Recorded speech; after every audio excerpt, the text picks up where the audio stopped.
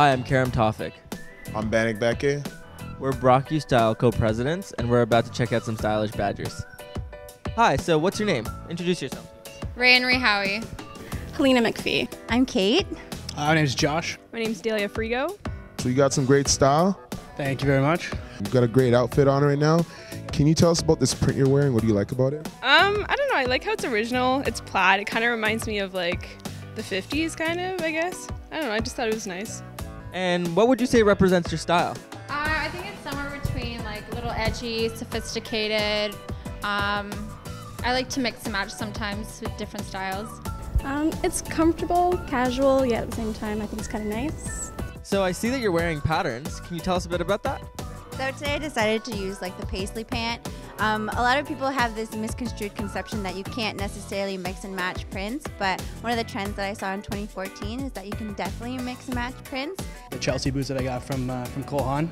Uh, I do like this watch too from uh, from Citizen. It kind of adds, adds a little accessory to what I'm wearing. Like kind of a Christmas sweater feel, but still still kind of trendy, right? Pretty nice scarf you got there. Can you tell us where you got it? I actually got this um, in November at the Royal Winter Fair. Nice. What would you say is your favorite color you like to wear?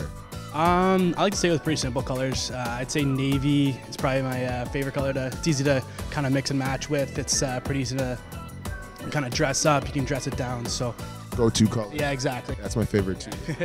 Perfect. Today I just went with like a basic solid color and then with the uh, with the print pants. But I like to mix and match a little bit, have fl- some floral and some stripes put together. But the typical standard from for my own fashion is that if I wear a print, I wear something solid to pair it up with, even if it's just a solid scarf or a printed scarf, and mix and match that way.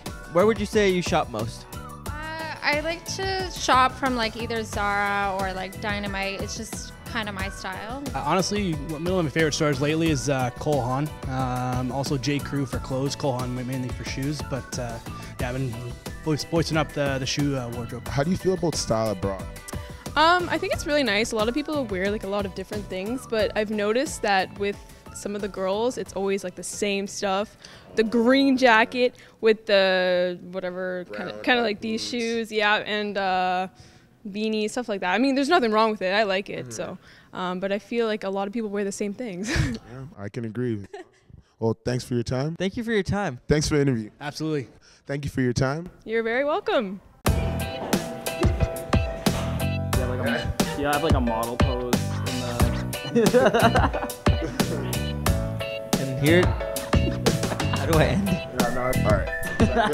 yeah, that was good.